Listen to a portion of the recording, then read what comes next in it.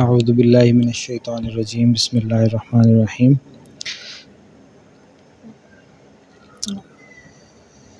جب آپ صلی اللہ علیہ وسلم کو اللہ تعالیٰ نے ہجرت کا حکم دے دیا، اور جب اس سے پہلے بھی جب آپ صلی اللہ علیہ وسلم نے اعلان نبوت فرمایا، تو اس وقت ایسے حالات تھے کہ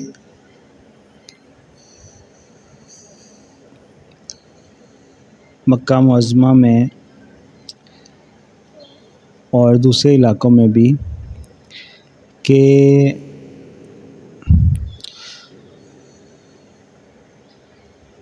لوگوں کی سوچ، فکر اور جو کچھ بھی عقائد تھے، وہ پختہ ہو چکے تھے۔ اور جس کسی نے ساری عمر کسی باطل عقائد کے اوپر گزاری ہو اور اپنے آپ کو شیطان کا غلام بنا کے رکھا ہو اور اپنے نفس کی پوجا کی ہو، اس کو جب یہ کہا جائے کہ اللہ اور اس کے رسول کی طرف ہجرت کر جاؤ اللہ اور اس کے رسول کے حکم پہ سب قربان کر دو۔ صرف اللہ کے ہو کے رہ جاؤ۔ تو وہ صرف مشکل ہی نہیں، ناممکن ہوتا ہے اس کے لیے کہ وہ سب کچھ چھوڑ دے۔ صرف اللہ کا ہو کے رہ جائے۔ یہی وجہ ہے کہ خانہ کعبہ کے اندر انہوں نے جو بت رکھے ہوئے تھے، صدیوں سے پوچھتے آئے تھے۔ جب آپ صلی اللہ علیہ وسلم نے کہہ دیا کہ یہ بت جو ہیں، یہ یہ خدا کے شریک نہیں ہیں۔ تو ان کے لیے یہ ماننا ناممکن تھا۔ مردوں کا معاملہ ایسا ہوتا ہے کہ ان کو اگر بات سمجھ میں آ بھی جائے تو وہ بہت ساری مفاد، بہت ساری اپنے تئیں جو ان کے خیال میں حکمتیں ہوتی ہیں، اس کی وجہ سے چیز کو اڈاپٹ نہیں کرتے اتنی جلدی۔ مثال کے طور پر، ملک ریاض کو یہ کہا جائے کہ یہ جو بت اور مجسمے تم نے اپنے بیریا ٹاؤن میں رکھے ہوئے ہیں، سب جگہ رکھے ہوئے ہیں۔ لاہور میں پورا ایجپشین بلاک بنایا ہوا ہے، جس کی انٹرنس پہ وہی والے بت رکھے ہیں جو فرعون نے رکھے ہوتے تھے۔ اور اسی طرح کے مجسمے اور بت بنائے ہوئے ہیں۔ تو ان کو توڑ دو، ختم کر دو۔ یہ شرک ہے۔ فوج والوں کو کہا جائے کہ آپ نے ہر کینٹ کی انٹرنس پہ اور ہر دوسرے چوک پہ آپ نے فوجی بنا کے، ان کے مجسمے بنا کے کھڑے کیے ہوئے ہیں۔ اور کسی کی بھی مثال لے لیں تو وہ فوراً اس کو ہوگا کہ یہ میں نے تو ہمیشہ سے بنائے ہوئے ہیں، بنا کے رکھے ہوئے ہیں، تو میرے تو پلاٹ ہی اس کی وجہ سے بکتے ہیں۔ فوج والے کہیں گے، یہ تو ہم نے شہیدوں کی نشانیاں رکھی ہوئی ہیں۔ اور یہ لوگوں کو یاد دلاتے رہتے ہیں کہ فوجی ان کی حفاظت میں آئیں ان کی حفاظت کے لیے تیار رہتے۔ ہیں تو بڑا مشکل ہوگا ان کے لیے اس کو چھوڑنا۔ ایک، حالانکہ یہ کوئی اتنی امپورٹنٹ چیز بھی نہیں ہے کہ پتہ نہیں اگر یہ بت اور مجسمے نہیں ہوں گے تو کیا ہو جائے گا۔ کوئی اتنی بڑی بات بھی نہیں ہے نا۔ ایک ڈیکوریشن کے نام پہ ہی بنائے ہوئے انہوں نے۔ کہاں یہ کہ آپ ذرا ان جرنیلوں کو کہہ کے دیکھیں نا۔ کہ آپ کا جو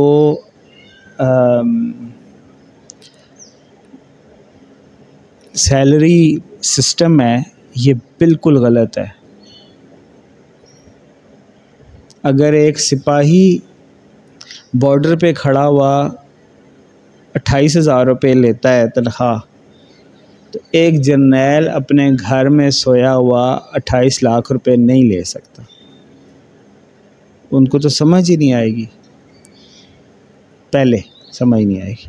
لیکن میں نے جیسے کہا، مردوں کا معاملہ یہ ہوتا ہے کہ انہیں سمجھ آ بھی جائے تو وہ پھر بہت ساری حکمتوں جن کو وہ اپنی حکمت سمجھتے ہیں اور ضدیں یا کم، کچھ کچھ ریزنز اسٹریٹجیکلی وہ اس چیز کو ایکسیپٹ نہیں کرتے۔ تو جرنیل کبھی بھی نہیں کریں گے۔ ان کو پتہ ہے، ان کو یہ لائف سٹائل ان کا یہ پیسہ، دولت، یہ سب ختم ہو جائے گا۔ تو وہ وہ ان کو سمجھ آ جائے گی یہ بات اور شاید ابھی بھی پتہ ہو، لیکن وہ نہیں مانیں گے۔ کسی آرگنائزیشن کے ناظم صاحب کو کہا جائے کہ جب کلاس میں آپ بیٹھے ہوئے ہیں کلاس روم سٹارٹ ہو گیا تو یہاں پہ ڈسپلن ٹیچر کا چلے گا۔ اب ناظم صاحب کو سمجھ آ بھی جائے گی بات لیکن وہ نہیں مانیں گے کیونکہ انہیں پتہ ہے کہ ذرا ٹور ٹار خراب ہو سکتی ہے تھوڑی دیر کے لیے۔ اگرچہ اوور آل نہیں ہوتی انہیں پتہ ہے۔ تو یہ انسان کا مرد کا عموماً یہ مزاج ہے کہ وہ اپنے مزے، اپنی چیزیں وہ نہیں چھوڑتا۔ اس وجہ سے وہ حق کو نہیں مان رہا ہوتا۔ مولویوں کو کہا جائے کہ امام مہدی کو مان لیں، انہیں سمجھ آ بھی جائے تو آپ دیکھیں گے ادھر کسی بھی جگہ پاکستان کی صرف مثال لے لیں، کسی نے بھی امام مہدی ہونے کا دعویٰ اگر کیا ہے تو کل اس نے دعویٰ کیا، آج وہ سوشل میڈیا پہ وائرل اور شام سے پہلے پہلے وہ اندر۔ ہوتا ہے کہ نہیں ایسے؟ کتنے ابھی میں دو ہزار اٹھارہ سے لے کر ابھی تک میں کتنے دیکھ چکا ابھی پچھلے عرصے کسی نے عورت نے ایسی کوئی بات کی تھی۔ ایسے صبح بات ہوئی نہیں، شام کو غائب، پتہ ہی نہیں۔ اس کے بعد کسی نے سنا کدھر گئی، کدھر نہیں گئی۔ وہ ایک بندہ تھا دو ہزار اٹھارہ میں، انیس میں وہ بڑی سی داڑھی رکھی ہوئی تھی اس نے اور وہ کہہ رہا تھا کہ آرمی چیف اور پرائم منسٹر اور پریزیڈنٹ سارے آ کے میرے ہاتھ پہ بیعت کریں، میں امام مہدی ہوں۔ شام کو ہی اگلے دن ویڈیو آ گئی تھی، اسے ڈالے میں ڈال رہے تھے۔ وہ دن، آج کا دن، کوئی پتہ نہیں کدھر ہے، کدھر نہیں۔ ابھی ابھی پچھلے دنوں ہوا ہے۔ وہ بندہ جو ہمیں میسیج کرتا تھا، شاید وہ وہی ہے۔ وہ عجیب عجیب سے بتاتا تھا۔ کہتا تھا کہ محمد قاسم صحیح ہیں، یہ وہ ہماری فیور شاید لینا چاہتا تھا کیا، لیکن ایکچوئل میں اس نے پھر خود دعویٰ کیا امام مہدی ہونے کا۔ تو مجھے تو پتہ نہیں کدھر گیا، کدھر نہیں گیا، لیکن وہ بعد میں میں ایک نیوز دیکھ رہا تھا، مجھے نام شام اس کا بھول گیا۔ ابھی پچھلے دن میں نیوز دیکھ رہا تھا کہ وہ امام مہدی کا دعویٰ پتہ نہیں پنجاب کے کسی جگہ سے کرنے والے کو پتہ نہیں اریسٹ ہوا، کیا ہوا۔ تو اگر حق سمجھ آ بھی جائے تو وہ یہ چوز کریں گے مولوی کہ خاموش ہو جاؤ، ٹائم گزارو۔ اب طارق مسعود کو کہا جائے، امام مہدی کو مان لو تم۔ اچھا اس کو سمجھ آ بھی جائے تو وہ یہ کرے گا کہ میں مخالفت نہ کروں، ذرا ٹائم گزار لوں۔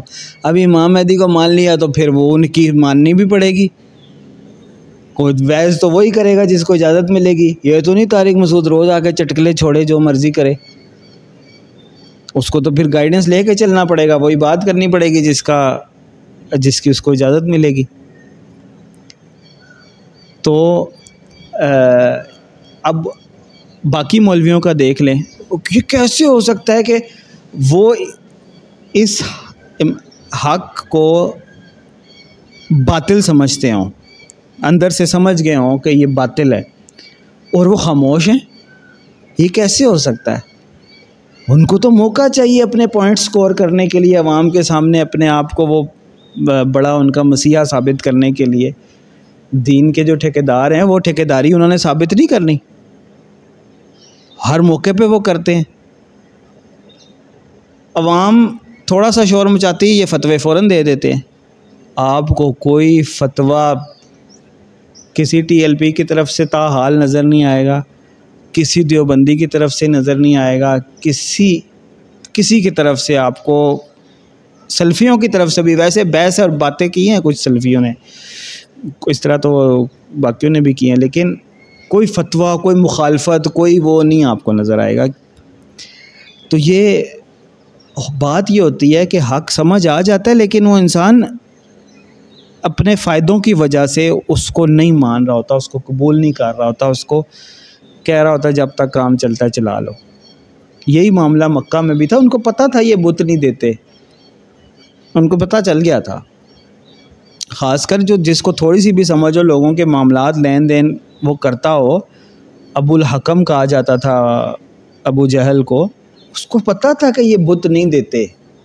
عام لوگ سمجھتے ہوں چاہے، اس کو بھی پتہ ہوگا کہ یہ بت نہیں دیتے۔ اللہ دیتا ہے۔ لیکن اس کا بزنس اس سے چلتا تھا، سرداری اس سے چلتی تھی۔ لوگ اس چیز کو مانتے تھے تو وہ اسی کو بیچتے تھے۔ ابھی پچھلے دنوں کس نے دیکھا ہے کہ وہ طارق مسعود، خواب اللہ نے کسی کو دکھایا کہ وہ طارق مسعود اپنی آڈینس کو سجدہ کر رہا ہوتا ہے؟ آپ کو آیا تھا؟ ہاں۔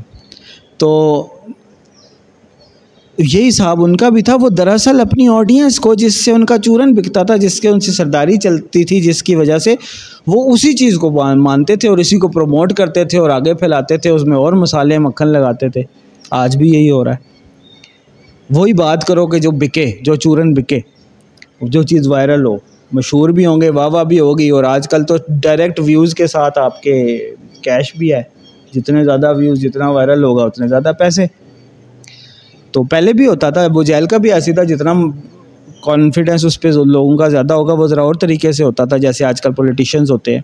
اتنا ہی چورن بکے گا اتنے ہی زیادہ لوگ اس کو فالو کریں گے، اتنی اس کی سرداری پکی ہوگی، اتنی زیادہ ان کو اس کے اس کے ریلیونٹ پھر ظاہر ہے، جتنا کو بڑا ہوگا تو دنیاوی فائدے بھی ملتے تھے۔ تو یہ مرد مرد کا مزاج ہوتا ہے، اسے حق سمجھ آ جاتا ہے، پھر بھی وہ اس کو ماننے کے لیے تیار نہیں ہوتا۔ میں مرد میں بند، انسان کے بجائے مرد کا لفظ جان بوجھ کے استعمال کر رہا ہوں۔ عورت کا مزاج ذرا مختلف ہوتا ہے۔ عورت کو اتنی جلدی جلدی حق سمجھ ہی نہیں آتا۔ عموماً۔ اور اگر آ بھی جائے تو عورت کے اندر ضد بہت زیادہ ہوتی ہے۔ اسٹریٹجی اور وہ یوں، وہ وہ کو خاص نہیں ہوتی، ضد بہت زیادہ ہوتی ہے۔ جس چیز کے اوپر وہ بس جو اس کو پسند ہے، جدھر اس کا دل آ رہا ہے، تو وہ اس کو ہی پکڑ کے بیٹھ جاتی ہے۔ اور یہ مزاجوں کا فرق جو فطرتاً ہوتا ہے، انسان کے اندر، مرد کے اندر یا عورت کے اندر، اس میں ایک وائڈ اس میں ایک گیپ ہے۔ مرد کیونکہ اسٹریٹجیکلی وہ کر رہا ہوتا ہے، تو چینج کو ایکسیپٹ بھی، کیونکہ لین دین معاملات مرد دنیا میں بھی آپ دیکھتے ہیں، اگر وہ کوئی چیز، کوئی ڈیل نہیں بھی کرنا چاہ رہا کسی فائدے کی وجہ سے، لیکن جب جیسے ہی وہ دیکھتا ہے کہ فائدہ بڑھنے لگے، ایک بندہ ہے، اس نے او ایل ایکس کیڈ مجھے یاد آتا ہے، وہ بابا کہہ رہا ہوتا ہے کہ ایک پوتا اپنے دادا کو کہہ رہا ہوتا ہے کہ وہ یہ ویسپا کہیں بیچ ویچ دیتے ہیں، ایسے ہی کھڑا ہوا ہے۔ تو دادا بڑے ایموشنل اس میں کہتا ہے کہ اس پہ تمہاری دادی کو میں گھمایا کرتا تھا، بڑا وقت گزرا ہے، بڑے ہم نے محبت کے لمحے گزارے ہیں۔ وہ ایسے ایموشنل کہہ رہا ہوتا ہے تو اتنی دیر میں وہ پوتا او ایل ایکس پہ ڈال دیتا ہے اور ساتھ میں ان کو اس کو آفر آ جاتی ہے تو وہ پوتا کہتا ہے دادا او ایل ایکس پہ اتنے مل رہے ہیں۔ تو اب دادا ایسے کہہ رہا ہے کہ جی میں نے بڑا وقت گزارا، میں وہاں چاندنی چوک میں گیا۔ ادھر سے پوتے کے بعد دادا وہ ایلیکس پہ اتنے مل رہے ہیں۔ دادا کہہ رہا ہے، میں چاندنی چوک میں گیا، وہ پہلے پھول کی کلی ہیں بیچ دے۔ تو وہ جیسے ہی سنتا ہے نا، تو فوراً اس کو آفر جب اچھی لگتی تو کہتا بیچ دے۔ تو مرد ایسے بھی کرتا ہے۔ وہ ویسے پاؤں جتنی مرضی ضد کر رہا ہو تو وہ جب اس کو کہیں اور فائدہ نظر آتا ہے تو وہ وہ اس کو ایکسیپٹ بھی کر لیتا ہے۔ ضروری نہیں ہے دنیاوی فائدے اور اس کے لیے کر رہا ہو۔ اگر مثال کے طور پر کسی بات کو یہ سمجھ آ گیا کہ یہ بت نہیں دیتے لیکن ہم چورن بیچی جا رہے تھے، بیچی جا رہے تھے، بیچی جا رہے تھے، تو ہم نے اتنا فائدہ لے لیا۔ لیکن اگر اس کو یہ سمجھ آ گئی کہ یہ آخرت کا اس کے مقابلے میں نقصان بہت زیادہ ہے تو یہ میں تھوڑے دنوں کے فائدہ تو لے لوں گا، لیکن پھر وہ ہمیشہ کی زندگی میں میرا کیا بنے گا؟ سمجھ آ گئی اندر سے۔ تو ضد کچھ دن یہ وہ کرے، لیکن ایک دن ہو سکتا ہے وہ ایکسیپٹ بھی کر لے اس چیز کو کہ اسٹریٹجیکلی بھی یہ زیادہ لاجیکل ہے، زیادہ سمجھداری کی بات ہے کہ ان بتوں کے بجائے میں یہ تھوڑے دن کی مشکل برداشت کر لوں، یہ سارے لوگ مخالفت کریں گے۔ تو ایسے حق کو تو اللہ دنیا میں بھی غالب کرتا ہے۔ تو دنیا میں بھی فائدہ ہو ہی جانا ہے، اللہ نے دے دینا ہے۔ لیکن اصل بات یہ ہے کہ آخرت والی، کہ وہ ہمیشہ کی زندگی ہے۔ تو یہی وجہ ہے، آپ صلی اللہ علیہ وسلم کے ساتھ بھی زیادہ تر مرد پہلے ایمان لائے۔ اور اب بھی آپ دیکھیں گے، حق کے ساتھ کھڑے ہونے والے، ہجرت کرنے والے، امام مادی والا حق ماننے والے، آپ کو زیادہ تر مرد ہی نظر آئے کیونکہ اللہ نے یہ جو تھوڑی کمپرومائز کرنا اور یہ تھوڑا سا یہ مرد کے اندر زیادہ ڈالا ہے۔ عورت کے اندر کمپرومائز کرنا نہیں، ضد بہت زیادہ ہوتی ہے اور عورت اپنے نفس کو بہت زیادہ پوچھتی ہے۔ جو اس کی خواہش ہے تو بس اس نے اس کے لیے کچھ بھی کرنا بہت زیادہ ہوتا ہے عورت کے اندر۔ اسی لیے آپ صلی اللہ علیہ وسلم کی حدیث کا مفہوم ہے کہ میں نے جہنم میں جا جھانک کر دیکھا تو مجھے وہاں پہ عورتیں زیادہ نظر آئیں۔ عید کی نماز میں آپ صلی اللہ علیہ وسلم مردوں کو خطبہ دے چکتے تو عورتوں کے پاس جا کر کہتے، اب الفاظ سنیں حدیث کے۔ کہ اے عورتوں کی جماعت، صدقہ کرو۔ عورتیں کون ہیں؟ جن کو ہم صحابیات کے نام سے جانتے ہیں۔ جو آپ صلی اللہ علیہ وسلم کی موجودگی میں آپ صلی اللہ علیہ وسلم کے اوپر ایمان لائیں۔ ان کو آپ صلی اللہ علیہ وسلم نے کیا کہا؟ اے عورتوں کی جماعت، صدقہ کرو، کیونکہ تم میں سے اکثر آگ والیاں ہو۔ تم میں سے اکثر آگ والیاں ہو۔ وہ جو عورتیں وہاں موجود تھیں، ان کو کہا کہ تم میں سے اکثر آگ والی۔ تو ایک عورت نے اٹھ کے پوچھا کہ رسول اللہ کیوں؟ آپ صلی اللہ علیہ وسلم نے فرمایا کہ تم لان تان زیادہ کرتی ہو اور اپنے عورتوں کی، اپنے شوہروں کی ناشکری کرتی تو وہ اس کے اندر ضد ہوتی ہے، خام خواہ۔ پھر حدیث میں آتا ہے کہ عورت کو ٹیڑھی پسلی سے پیدا کیا گیا۔ ٹیڑھ پن ہوتا ہے، ضد، اکڑ۔ تو اب جب یہ معاملہ تھا دین آپ صلی اللہ علیہ وسلم کے اوپر اللہ نے کھولا اور آپ صلی اللہ علیہ وسلم نے انسانوں کو دعوت دینا شروع کی۔ تو اس میں پھر یہ سچویشن پیدا ہو گئی کہ جو لوگ ایمان لانے لگ گئے، ان کی بیویاں وہ اسی ضد پہ۔ وہ ویسے ہی نہیں مانتی۔ تو پھر ایسی سچویشن ہو گئی اور کچھ جگہ پہ ایسا بھی ہوا ہوگا کہ عورتیں ہی مان لے آئیں اور شور نہ لائے۔ ظاہر ریشو کم، ایسا نہیں ہے کہ عورتوں میں حق طلب بھی نہیں ہوتی۔ ان کو بھی اللہ تعالیٰ توفیق دیتا ہے، کچھ ایسا بھی ہوا ہوگا۔ تو یہ ایک سچویشن پیدا ہوگی کہ کہیں پہ مرد ایمان لے آئے تو عورتیں پیچھے رہ گئیں اور کہیں پہ اگر کوئی عورت ایمان لے آئی تو مرد نہ لایا۔ تو اس سچویشن وہ اس وقت بھی تھی اور وہ ہجرت کے بعد بھی رہی۔ کہ جو لوگ ہجرت کر کے آ رہے ہیں، ان کی عورتیں نہیں آ رہی، آنا نہیں چاہ رہی۔ وہ اس سچویشن میں ان کو ہے کہ یہاں پہ ہمارے روزگار ہیں، ہمارے خاندان ہیں، ہمارے بچوں کا ہے، سفر کریں گے پرائی جگہ پہ جائیں گے، دیارے غیر میں جائیں گے۔ وہاں بچوں کا کیا بنے گا؟ فیوچر کا کیا ہوگا؟ کلچر کا کیا ہوگا؟ رہیں گے کہاں؟ کھائیں گے کیا؟ تو یہ ایک سچویشن بعد میں بھی رہی تو پہلے بھی تھی۔ تو اس کانٹیکسٹ میں اللہ تعالیٰ قرآن میں پھر ایک اصول بتا رہا ہے صورت التغابن میں۔ آیت نمبر چودہ۔ یا ایوہ الذین آمنوا، ان من ازواجکم و اولادکم عدو لکم۔ ایمان والو، تمہیں یہ بات بھولنی نہیں چاہیے، تمہیں پتہ ہونی چاہیے، ایمان والوں کی بات ہو رہی ہے۔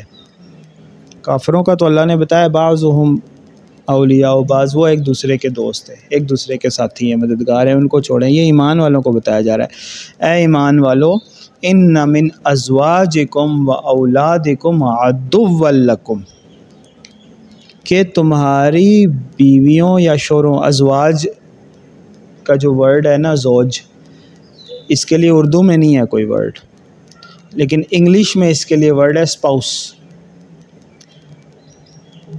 اردو میں ازواج کا الٹرنیٹیو ورڈ نہیں ہے، یا مجھے نہیں پتہ زوج ہی کہہ دیتے ہیں۔ انگلش میں اس کے لیے اسپاؤس اور جو اسپاؤس اور زوج کا ورڈ ہوتا ہے، اس میں دونوں آ جاتے ہیں۔ اسپاؤس اگر مرد کہے کہ مائی اسپاؤس تو اس کا مطلب ہوگا اس کی بیوی، اگر عورت کہے کہ مائی اسپاؤس تو اس کا مطلب ہوگا اس کا شوہر۔ اسی طرح عربی میں زوج کا مطلب اگر مرد زوج کا لفظ استعمال کرے تو وہ اپنی بیوی کی بات کر رہا ہوگا، اور اگر بیوی زوج کا ورڈ استعمال کرے تو وہ اپنے شوہر کا کی بات کر رہی ہوگی۔ تو جو اسپاؤسز ہیں ان کی بات ہو رہی ہے، مردوں کے لیے بیویاں اور بیویوں کے لیے مرد۔ دونوں ایمان والوں کو مخاطب کیا جا رہا ہے۔ اے ایمان والوں چاہے وہ مرد ہوں یا عورت، ان نمن ازواج کم و اولاد کم تمہارے بیوی یا شوہر میں، و اولادکم اور تمہارے اولاد میں ادو ولکم تمہارے دشمن بھی ہیں۔ بے شک تمہاری اولادوں میں اور تمہاری بیویوں یا شوہروں میں بھی تمہارے دشمن بھی ہیں۔ ادو ولکم یہ کوئی ایسا لفظ نہیں استعمال کیا کہ جس کا میں ترجمہ دشمن کر رہا ہوں یا ایسا لفظ نہیں استعمال کیا گیا کہ جس میں کوئی سافٹ ہو کے مخالفت والے یا اختلاف رکھنے والے یا کوئی ایسا ورڈ نہیں ہے۔ ادو کہا گیا ادو کہتے ہی دشمن کو ہے جو آپ سے جنگ کرتا ہے، جو آپ کو نقصان پہنچانے کی کوشش میں رہتا ہے، جو جو آپ پہ موقع پا جائے تو آپ کو کسی قسم کے بھی نقصان پہنچانے سے دریغ نہ کرے، وہ دشمن ہوتا ہے۔ تو ادو ولکم فہ ضرور لہٰذا احتیاط برتو، ان سے بچ کے رہا کرو۔ ان سے بچ کے رہنا، احتیاط کرنا الرٹ رہنا فہ ضرور ہوں و انطاف و تصفہ و تغفرو فن اللہ غفور الرحیم لیکن اب ایسا بھی نہیں ہے کہ تمہیں اندازہ ہو جائے کہ تمہاری اسپاؤس میں، تمہارے اسپاؤسز میں تمہارے دشمن ہیں اور تمہیں لگے کہ ہے، یا تمہیں پتہ چل جائے کہ ہے، تو تم اس کے ساتھ ویسے ہی جنگ کرو کہ جیسے تم فیلڈ میں دشمن کے ساتھ جنگ کرتے ہو۔ اتنا بتا کہ اللہ کہہ رہا ہے کہ محتاط رہنا ہے، لیکن پھر ساتھ میں کہہ رہا ہے وہ ان تعفو لیکن اگر تم معاف کر دو و تصفح اور تصفیہ کرو، ذرا اوور لک کرو اگنور کرنے کی کوشش کرو الرٹ رہنا ہے، لیکن یہ نہیں کہ ہر بات کا جواب تم دشمن ہی صحیح دو۔ و تغفرو اور معاف کر دو، تینوں الفاظ استعمال کیے تعف و معاف کر دو تصفہ تصفیہ کے ساتھ ذرا اوور لک کر دو، ذرا تھوڑا لحاظ کر لو۔ و تغفرو پھر دوبارہ۔ تعف و تصفہ و تغفرو تینوں۔ کوئی بھی صورت نکال کے اگر تم تھوڑا بنا کے رکھنے کی سچویشن کرو فعن اللہ غفور الرحیم تو اللہ تعالیٰ تمہیں بھی معاف کرے گا۔ اللہ معاف کرنے والا اور رحمان ہے۔ اور اللہ چاہے تو کل انہیں بھی ہدایت دے دے، انہیں بھی معاف کر دے۔ اب یہ جو بات ہے نا کہ ان من ازواج کم و اولاد کم ادب الکم اس میں بٹوین دا لائنز کیا بات ہے؟ دشمن ادب تو اس کو کہا جاتا ہے کہ جو کھلم کھلا دشمن ہوتا ہے۔ آپ صلی اللہ علیہ وسلم کا کھلم کھلا دشمن کون تھا؟ ابو جہل تھا، پہلے ابو سفیان تھا ایمان لانے سے پہلے تک۔ ابو لہب تھا، یہ ادب ہوتا ہے۔ لیکن عبداللہ بن ابئی ادب اندر سے تھا، اندر سے تھا، لیکن اس کو منافق بتایا گیا۔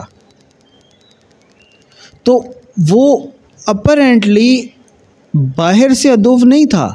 باہر سے تو وہ یہی شو کرتا تھا کہ میں آپ کے ساتھ ہوں۔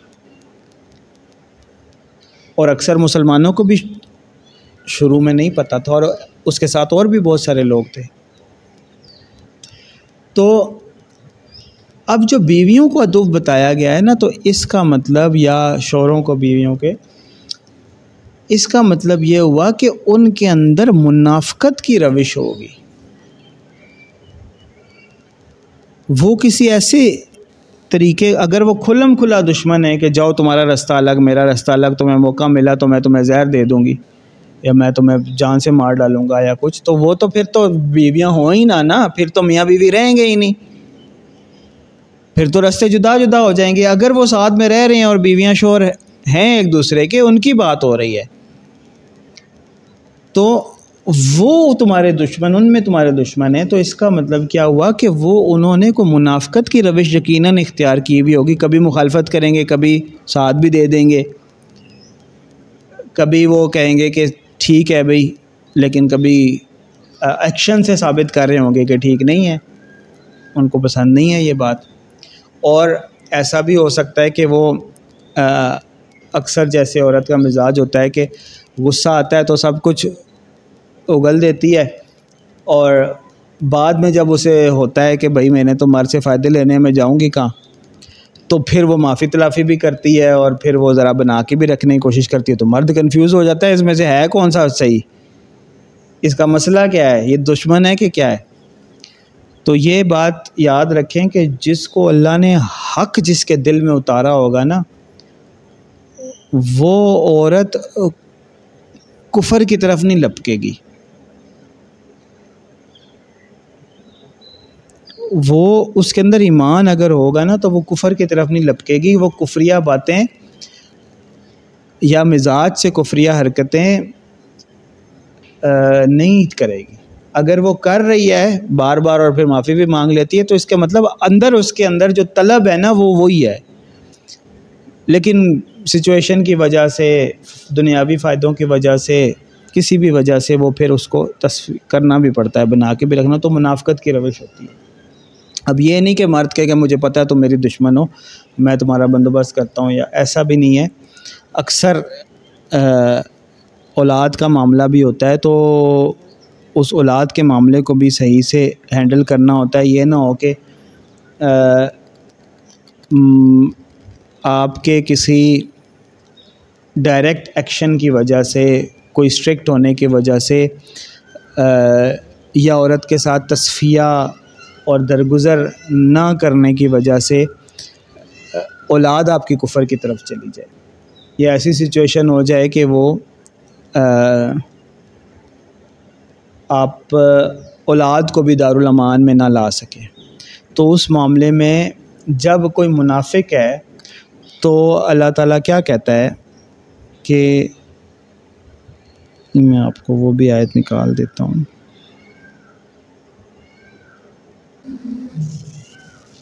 ومن الناس من يقول آمنا بالله واليوم الآخر وما هم بمؤمنين۔ لوگوں میں کچھ ایسے بھی ہوتے ہیں کہ جو کہتے ہیں کہ ہم اللہ اور آخرت پر ایمان لے آئے۔ وما هم بمؤمنین لیکن اصل میں وہ ایمان نہیں لائے ہوئے ہوتے۔ یہ ان لوگوں کا کیا معاملہ ہوتا ہے؟ یخادعون اللہ۔ وہ اللہ کو دھوکہ دے رہے ہوتے ہیں۔ وہ یہ سمجھ رہے ہوتے ہیں کہ ہم اللہ کو دھوکہ دے لیں گے، وہ اللہ کو دھوکہ دینے کی کوشش کر رہے ہوتے ہیں، وہ اللہ کو دھوکہ دے رہے ہوتے ہیں۔ والذین آمنو اور وہ اپنی طرف سے ایمان والوں کو بھی دھوکہ دے رہے ہوتے ہیں کہ ہم تو آپ کے ساتھ ہیں۔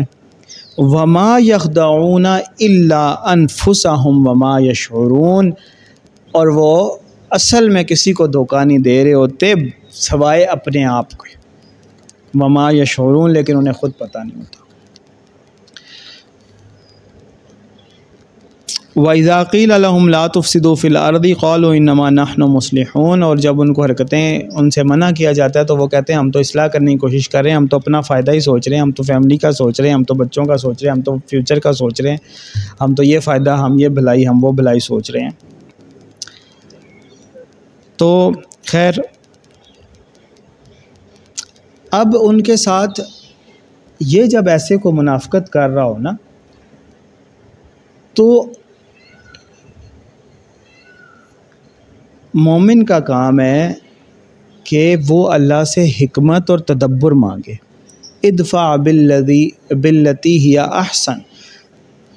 وہ آیت بھی بڑی مزے کی ہے اس موقع کے اوپر کہ صورت الفصلات کی یہ جو آیت ہے نا اتنے مزے کی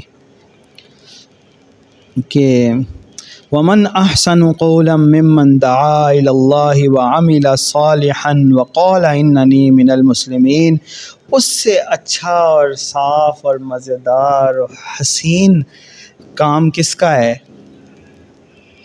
بات کس کی ہے کہ جو اللہ کی طرف بلائے اور خود بھی نیک عمل کرے اور یہ کہے کہ میں مسلمان ہوں۔ ولا یستوی یستوی الحسنۃ ولا سیاح تو جو برائی کر رہا ہے اور جو نیکی کر رہا ہے، وہ برابر نہیں ہو سکتے۔ حق کی طرف بلانے والے کو پتہ ہونا چاہیے کہ میرے اعمال اللہ کے ہاں لکھے جا رہے ہیں، نوٹ کیے جا رہے ہیں۔ میں کفر کی برابری نہیں کر سکتا۔ اب وہ مثال تو عجیب سی ہے، لیکن کتا کسی کو کاٹ رہا ہے، کسی کے اوپر بھونک رہا ہے، تو بندہ آگے سے نہیں بھونکتا۔ اس کو پتہ ہونا چاہیے کہ میں اللہ نے مجھے اشرف المخلوقات بنایا ہے، انسان بنایا ہے۔ میں کتے کے اوپر واپس آگے سے نہیں بھونک سکتا، میرا کام ہے صبر کرنا، گزار دینا۔ اسی طرح جو لوگ بھی کفر بک رہے ہوتے ہیں، وہ کوئی بھی ہو،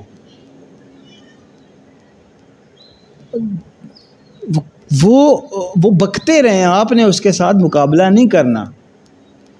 ولا تستویل حسنت ولا ولا سیاح یہ برائی اور بھلائی برابر نہیں ہوتے۔ اس کے ساتھ برابری نہیں کی جاتی۔ اس کے اندر ایک متانت، ایک بڑا پن ہونا چاہیے، صبر ہونا چاہیے۔ اور اطفا بلتی ہی احسن، اور جو آپ کے ساتھ برائی کرے، بدتمیزی کرے، گستاخی کرے یا کفر کی طرف بلائے اطفا بلتی ہی احسن، اس کے ساتھ بہت ہی اچھے طریقے سے اگنور کریں۔ ادفع باللتی ہی آسن اس کو اچھے طریقے سے ٹالیں۔ بہترین سافٹ طریقے سے، بہت اسٹریٹجیکلی اس کو ٹالیں۔ فعض الدی بین کا و بین عداوتن کا ان ولی حمیم یعنی آپ کے پاس اگر کوئی ایسی سچویشن آ گئی ہے کہ جہاں پہ آپ کو کفر کا پالا پڑ رہا ہے، خاص کر اب کیونکہ ہم اس میں اسپاؤسز کی بات کر رہے ہیں، تو اس میں کیونکہ پالا پڑھنا ہی ہوتا ہے، ساتھ رہنا بھی ہوتا ہے، گزارا بھی کرنا ہوتا ہے، بچوں کا بھی کے اوپر بھی سایہ بھی رکھنا ہوتا ہے۔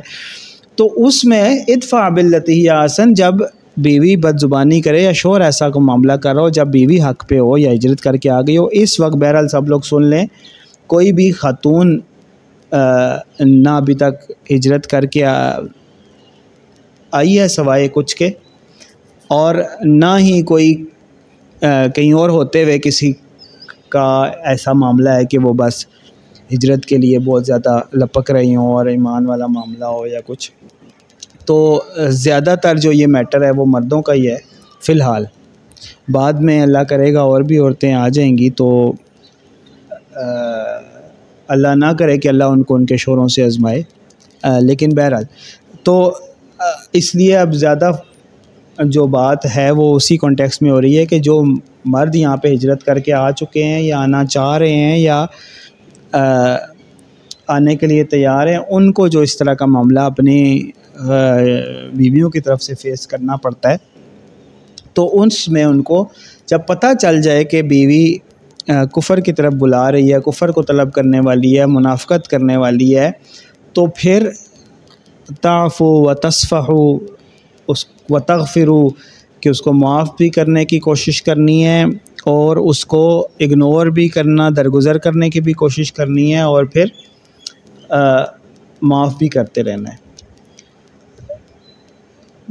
بشرطے کہ آپ نے یہ فیصلہ نہیں کر لیا کہ اب بس میرے اور اس کے رستے جدا جدا ہیں کوشش یہی کریں کہ ادفع باللتی ہی احسن، اچھے طریقے سے ذرا اس کو اگنور کریں۔ اب یہ جو معاملہ ایسا ہوتا ہے جہاں پہ آپ کا پالا پڑتا ہی رہتا ہے اور آپ اگر اچھے طریقے سے اگنور کرتے رہتے ہیں تو اس وجہ سے نہیں کہ وہ بندہ آپ کے اخلاق سے انسپائر ہو جائے گا، کوئی کسی بندے سے آپ ایکسپیکٹ نہ کریں۔ اللہ چاہے تو آپ کے اس حسن اخلاق کی وجہ سے کیا کرے؟ فعض الدی بین کا و بین ہو عداوت ان کا ان ولی حمیم تو اللہ چاہے تو آپ کے صبر اور حسن اخلاق اور استقامت کی وجہ سے اللہ چاہے تو فعض الدی بین کا و بین عداوت دشمن کی بات ہوئی تھی نا کہ بیویاں دشمن بھی ہو سکتی ہیں۔ تو جس کے اور آپ کے درمیان کوئی دشمنی تھی تو اللہ چاہے تو کا ان نہ ہو ولی حمیم، اس کو آپ کا بہت بڑا مددگار اور جگری یار بنا دے۔ تو جب ایسا معاملہ ہو کہ آپ کو پتہ بھی چل گیا کہ دشمنی فیس کرنی پڑ رہی ہے آپ کو اپنی بیوی کی وجہ سے، یا ریئر کیسز میں اگر کوئی بیوی ادھر آ جاتی یا آ چکی ہوتی، عورتیں یا آنا چاہ رہی ہوتی ہے اور اس کو شور کی طرف سے دشمنی فیس کرنی پڑ رہی ہے، تو اس میں اسٹریٹجی پھر وہی ہونی چاہیے کہ جیسے دشمن کے ساتھ جنگ کے موقع پہ سفارتکاری کے ذریعے کی جاتی ہے۔ جو سفارتکاری ہوتی ہے یا جو ایل چیز بھیجے جا رہے ہوتے ہیں کسی کسی وار کے اراؤنڈ، تو ان کا جو طریقہ ہوتا ہے وہ وہ جنگ والا نہیں ہوتا، وہ تصفیے کی طرف جا رہے ہوتے تبھی تو بات چیت ہو رہی ہوتی ہے۔ تو وہ جو تصفیے والا معاملہ ہوتا ہے نا، اس کو ذرا پکڑ کے رکھیں۔ اور اندر سے آپ کو پتہ ہونا چاہیے کہ یہ دشمنی کر رہا ہے یا کر رہی ہے، تو آپ پھر اسی حساب سے اس کو ڈیل کریں۔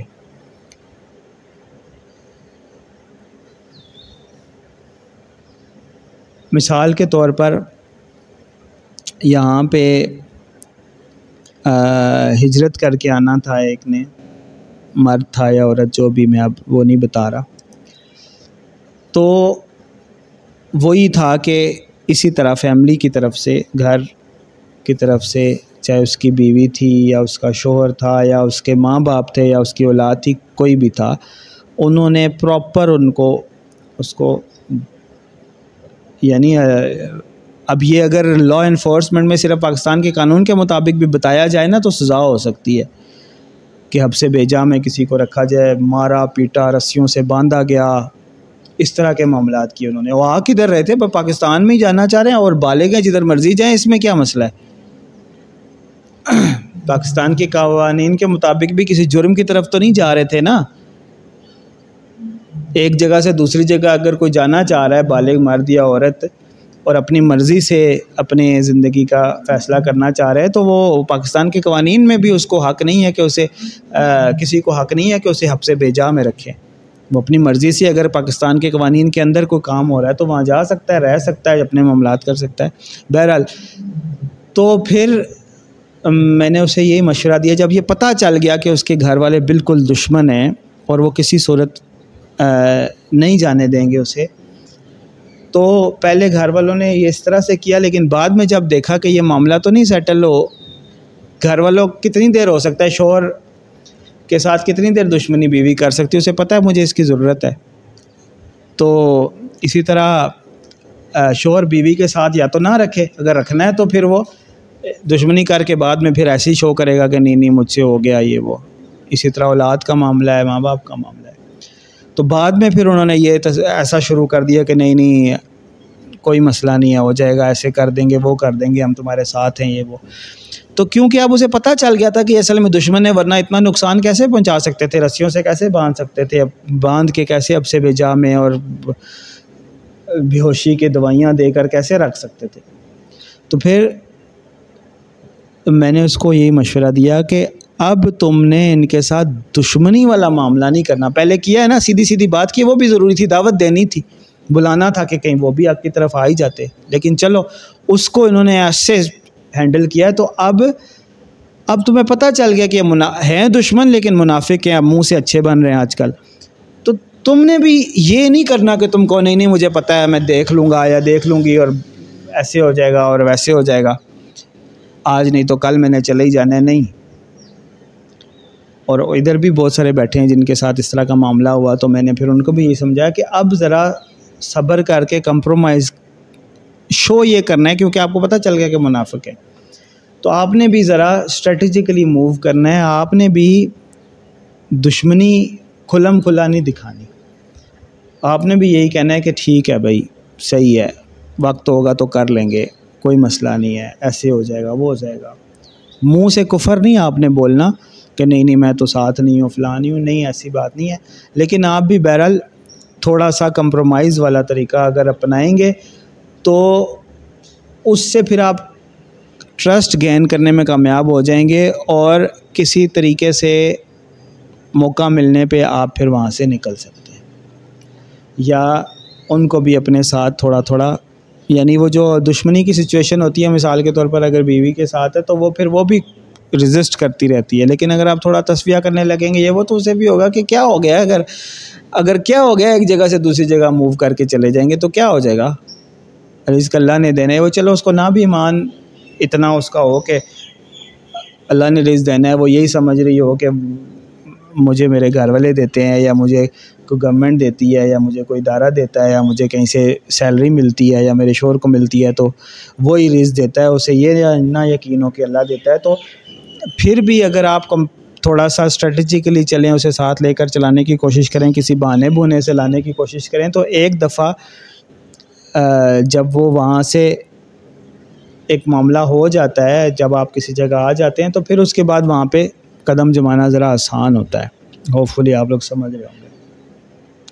تو اس لیے یہ بہت ضروری ہے کہ پہلی بات آپ کو جب پتہ چل جائے کہ کوئی آپ کا دشمن ہے تو وہ منافقت کی روش اختیار کر رہا ہے، تو پہلی بات یہ ہے کہ اس کے اوپر بالکل ٹرسٹ نہ کریں۔ یہ کبھی بھی نہ سوچیں کہ بس اب یہ مجھ سے مخلص ہو گیا جب تک اللہ تعالیٰ اس چیز کو ثابت نہ کر دے اور وہ اتنی جلدی نہیں ہوتا۔ اور جب تک وہ ہجرت کر کے آ نہیں جاتے، تب تک ثابت کیا ہوا تھا۔ اس کا مطلب ہے دشمن ہی ہے نا۔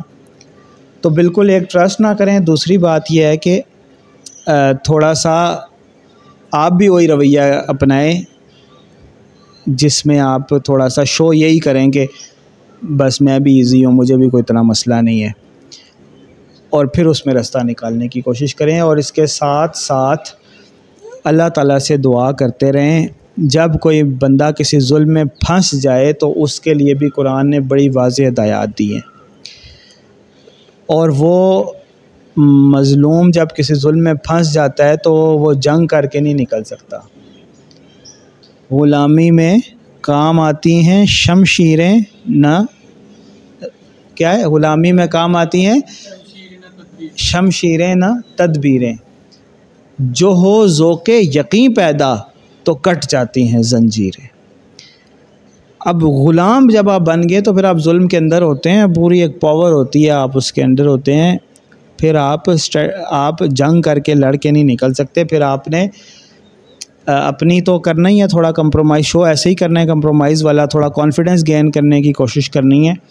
لیکن اصل بات یہ ہے، جو ہو زو کے یقین پیدا تو کٹ جاتی ہیں۔ زنجیریں، آپ نے اللہ پہ توکل کرنا ہے اور اللہ سے مدد مانگنی ہے تو اللہ پھر آپ کے لیے رستے بھی نکال دے گا۔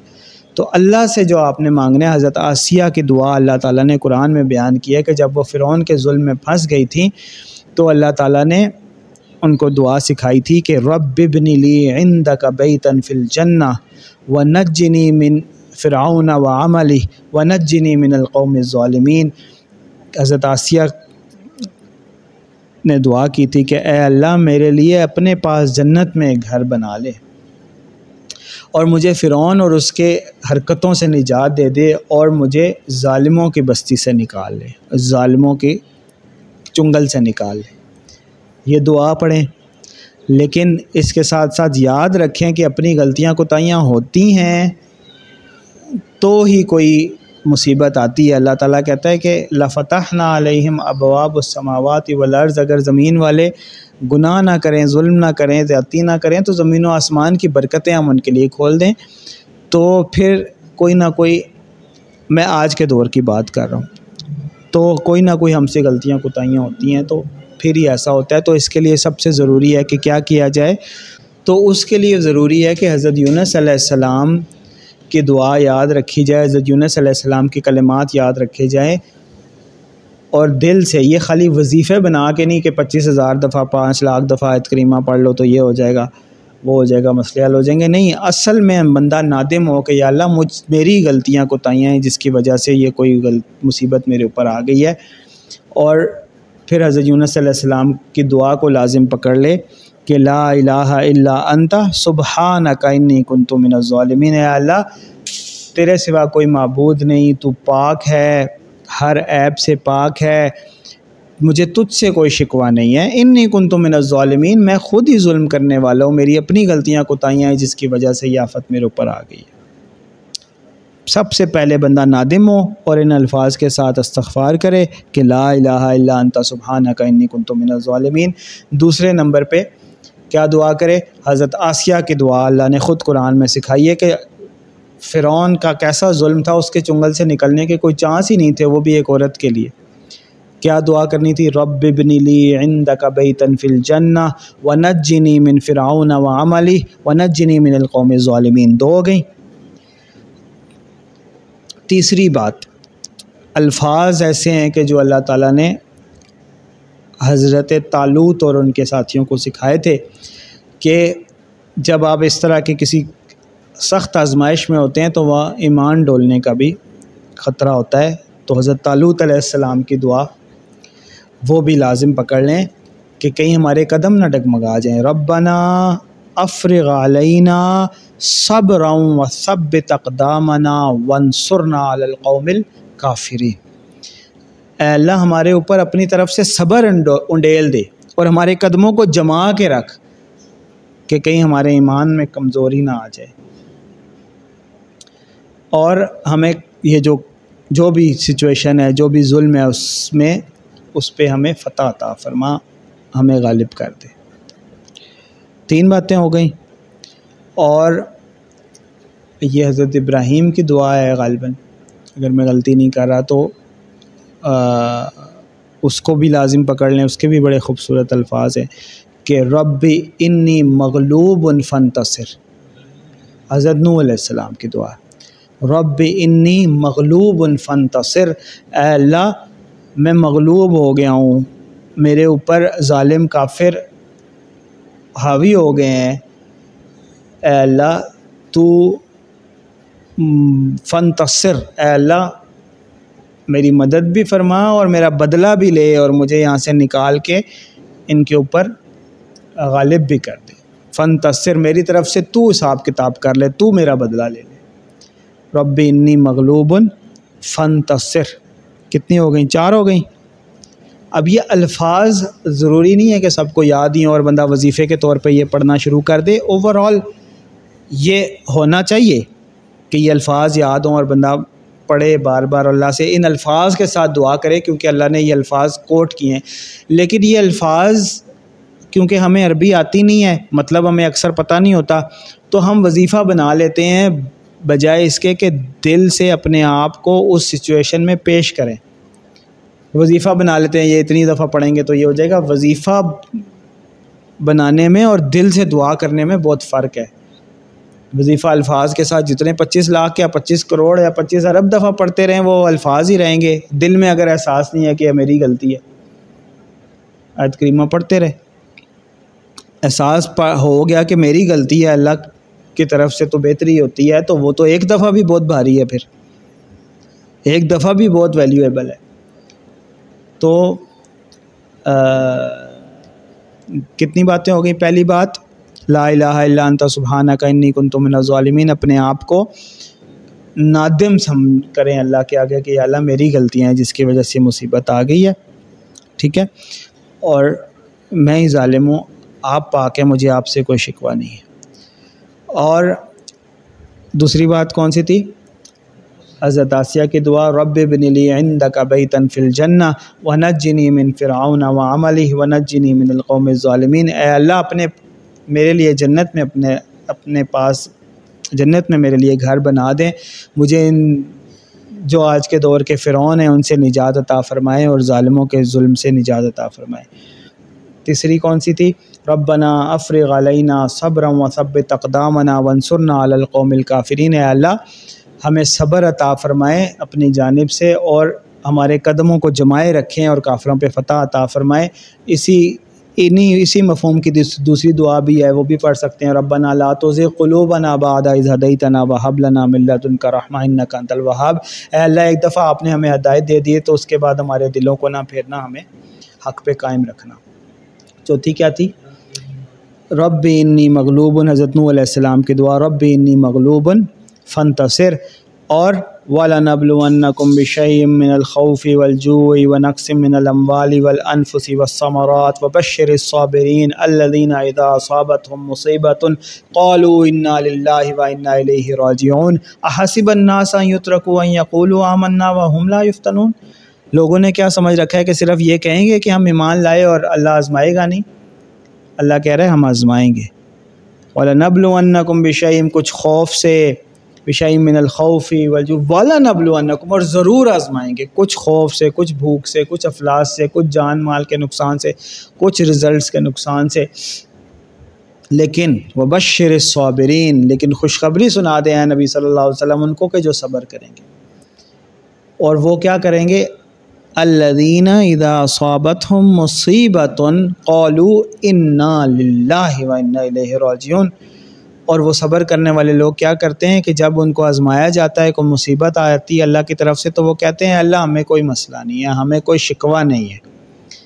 انا لاہ و انا راجعون۔ اے اللہ، ہم آپ کے لیے ہی ہیں اور آپ کے پاس ہی آنا ہے۔